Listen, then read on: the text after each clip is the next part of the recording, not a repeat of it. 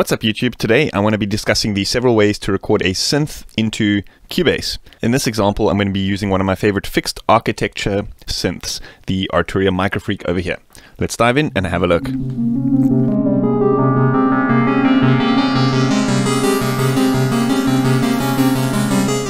So there's a couple of ways of recording your synth into Cubase, depending obviously on how you prefer to do it, whether you want to play the keys in live, whether you want to use your synth's sequencing capabilities, or whether you want to use Cubase's sequencing capabilities. So I want to discuss all of those ways of recording uh, your synth into Cubase. First and foremost, let's discuss the easiest, which is just recording your synth live into Cubase. So what we're going to want to do is set up a audio track. Let's say, for example, click add audio track and we get our audio track window. So here you're going to want to select this input as the relevant input for your synth on your audio interface. So my audio interface, I know for a fact my Microfreak is going through to input number one. So I can select input number one and it automatically routes that for me. Here we can call this Arturia Microfreak and it adds us one channel. So for those kind of virtuosos who can play keys very well, like in time and stuff like that, not like myself, what you're going to want to uh, wrap your head around is a thing called zero latency monitoring. So there's pros and cons to doing this, of course. And also the thing is that there's various ways of setting it up with different audio interfaces. Sometimes you'll have an actual hardware switch on the front panel. Sometimes you'll have a controller, like in my case over here. So here you'll see that if I play the key on my Microfreak over here, you'll see that it's coming through in real time. However, you guys aren't hearing that because it's not routing through my DAW right now. So I, I'm hearing it in real time though.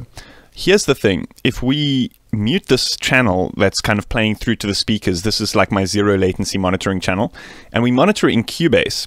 If we press the switch, there'll be a few milliseconds of latency, and that's because obviously the digital processing involved. For sound design purposes, like when I'm just creating sounds, I'll often add effects to the channel and that kind of thing. But then when I start playing lead lines, there's that little bit of latency involved, and that can often throw you off. So there's a remedy to that. In most sound cards, you'll have what's called a buffer size. You can set that down as low as you like. The thing is, though, the larger your projects are and the more CPU drain you have going on, the less you're going to be able to turn this down without kind of adverse effects. So let's say, for example, I set this to 32. You can see already there's quite a jump in the CPU usage. I'm now sitting at just over a quarter of my overall CPU percentage, whereas before that latency switch, I still had time to uh, kind of go. So I, this is something that you want to wrap your head around. You know, how do you work? Do you work in very big projects? Do you just want to record in, for example, like yourself playing piano or yourself playing one synth channel and you want to hear it with effects? Maybe it's not so bad to turn that buffer size down. Because I mean, here, for example, uh, what I can do is I can put on, let's say, um, an instance of Snap Heap, and we can add some processing here to this snare sound. Let's say, for example, a transient shaper, maybe a little bit of delay, and maybe like a convolution. Uh, I'm not sure how much I'm going to be able to do in terms of processing here. You'll see it'll come through in real time.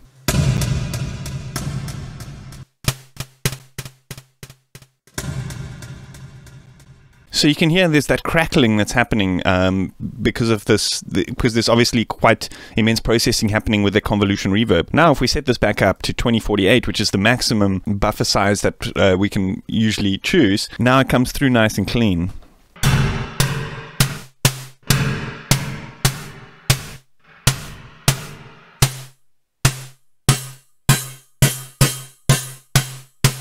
So for myself, you know, in instances where I'm generally doing sound design, I kind of want to hear what this is going to sound like in the context of effects and stuff like that. I generally use a full buffer size because you know I often I'm not playing my melodies in, um, so I don't need that kind of zero latency monitoring. That being said, you can always just enable to monitor directly on your sound card and disable monitoring in, in Cubase, play it in, and then turn on the monitoring or, or turn on the effects and listen to what it sounds like after the fact. So there's various different ways of doing this. Let's talk about how I would actually go about recording the sound into Cubase and another little trick that I like to do. Here, if we're monitoring here, let's just turn off the monitoring on my audio interface. All we need to do is just hit record and then it's as easy as just recording in some hits.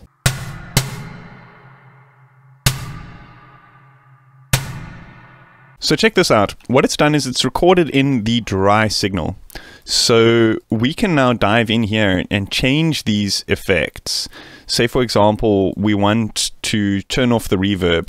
We can change it after the fact. So it's recorded that in dry, which is pretty cool.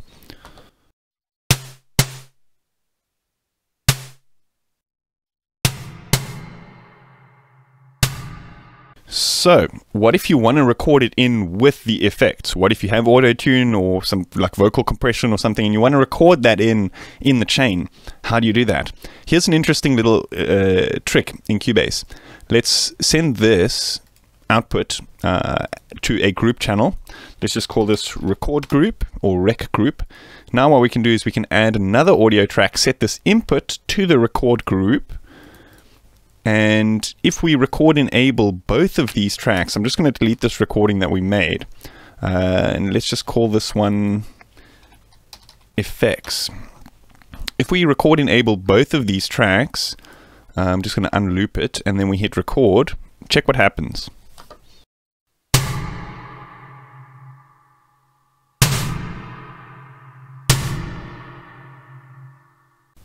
And now it's recorded us a channel with the wet effects as well as a channel with the dry. So we can kind of remember, you know, if we wanted to print that effects in, uh, there is a little bit of timing issues and stuff that will occur because of that. But anyway, um, you can always line it up after the fact. Um, often when doing this kind of live recording in, you're going to be chopping samples and lining them up and stuff anyway in a sound design context. So this is generally how I go about that. So the next example I want to deal with is how you would record a synth and take advantage of that synth's sequencing capabilities. So if you have a synth with an arpeggiator or a sequencer or something like that, and you're wanting to do the sequencing and write the kind of melodies on the synth, the easiest way to do that would be to send a clock signal out of Cubase and into your synth. So in this context, I've got the Microfreak hooked up via USB. It's got MIDI, it's got CV, so there's various different ways that you can hook this up. Um, it's just, for me, it's just a bit easier. Um, just putting everything via USB, you can select it with a drop-down menu, etc. So how would we go about setting up Cubase to send a clock output to a specific MIDI channel? In the project drop down menu, you've got a project synchronization setup over here, and this pops up this dialog window. So over here, you've got destinations. So what you use this for is where you send clock to various things. Here, what I want to do is I'm just going to disable the clock from my usual settings. I can always go back there. Um, and I want to send a MIDI clock destination to the Arturia Microfreak. So then if we press OK, if we hit spacebar, nothing happens on the Microfreak because we have to jump over there and set up the sequencer. So I'm just going to initialize the patch real quick. I think if we press this three times, it initializes the patch. So for this to work, what we're going to want to do is hold shift and enable the sequencer by pressing the R button. So you'll see sequencer on over there. You might not see it on my screen because it's a little bit blurred. My camera's not too great. Anyway, now when we press play in the DAW, okay, so we'll have to program a sequence in real quick. And on the Microfreak, there's two, there's two ways of doing this. I'll do a separate video on how to do it. But quickly, what I'm going to do is just press record. That gives us the step recording mode. Okay, so then once we've recorded in a nice 16 step sequence, just press play like that.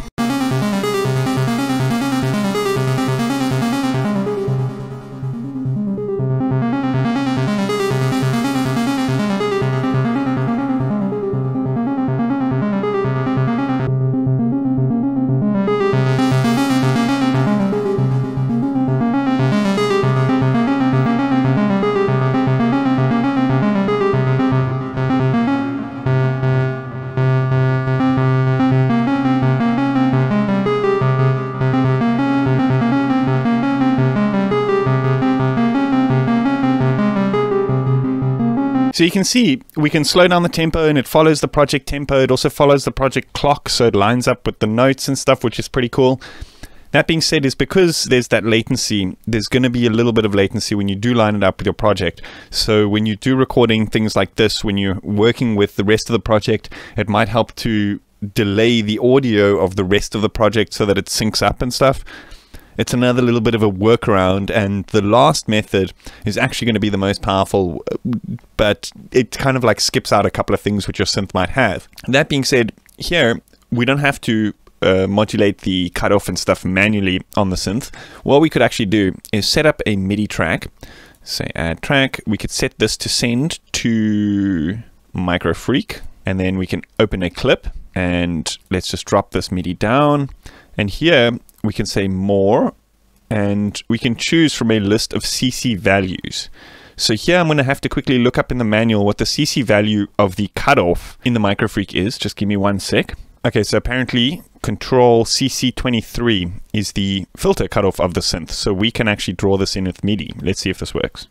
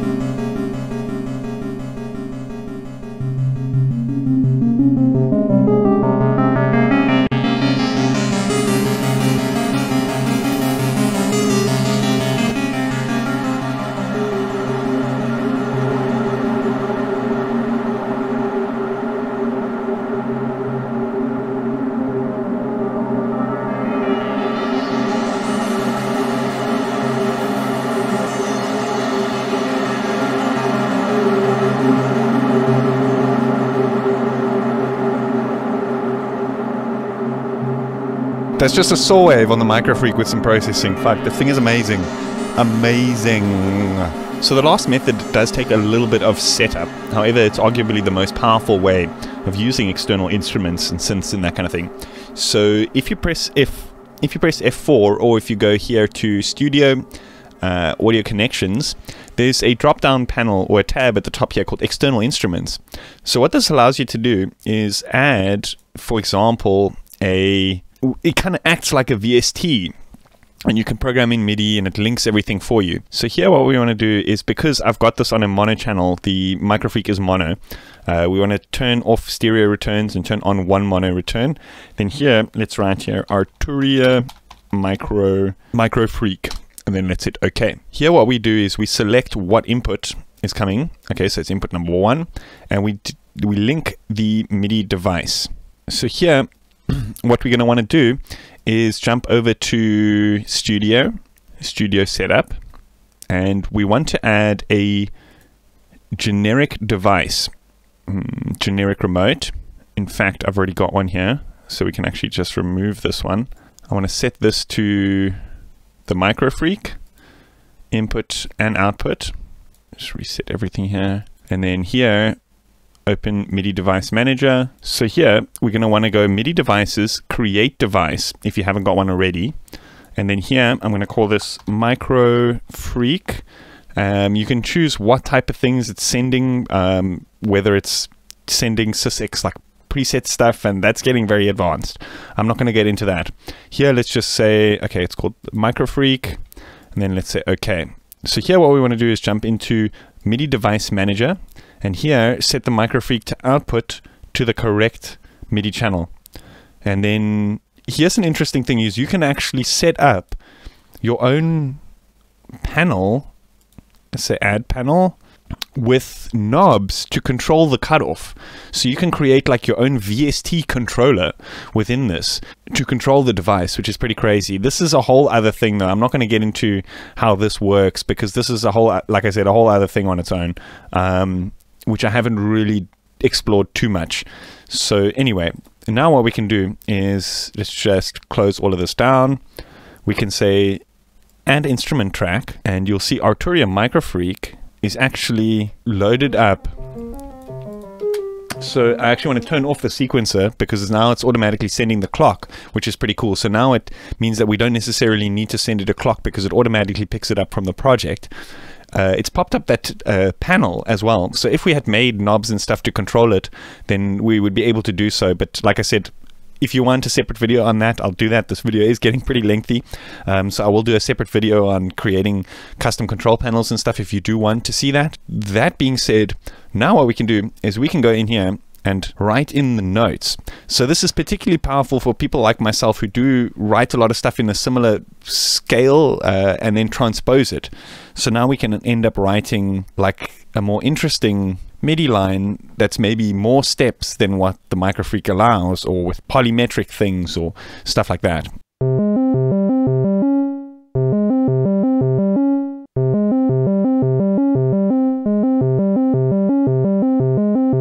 So now what we can do is we can actually apply effects directly onto this channel. Um, so this makes it easier in terms of like routing and stuff. Like when we come back to the project later, or when we go to another project, we can just add this like as a VST, and everything is kind of nested within a single thing. So that's pretty cool.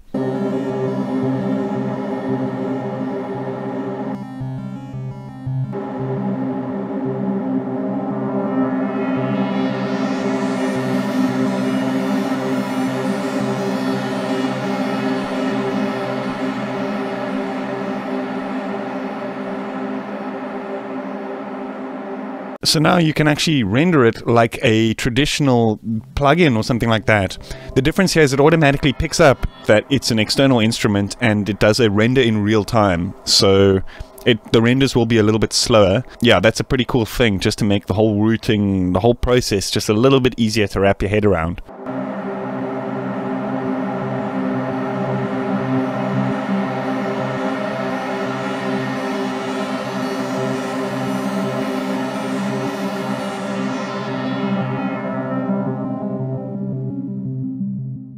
How cool is that, hey? Super workflow friendly way of doing it.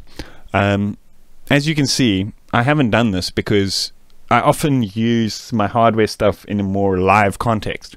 So when I'm creating stuff, I often just use plugins because plugins can offer a very similar style of sound and that kind of thing. Um, certain things obviously are better in hardware, whatever. This is not about that. Hopefully, this just gives you guys an idea of how you can use your synths in uh, recording them into your projects and stuff. Yeah, that's about it for today. Hope you guys enjoyed that. Let me know what you think in the comments. If you want to support my channel, then head on over to my Patreon. The link is in the description. I got various perks for you, like a lot of the presets and the things that I make in my videos. So definitely head on over there and check that out if you want to support this channel. Otherwise, if you haven't yet, please consider hitting that subscribe button or at the very least, just hitting that like button if this video helped you guys. Thank you so much. I will see you guys next time. Cheers.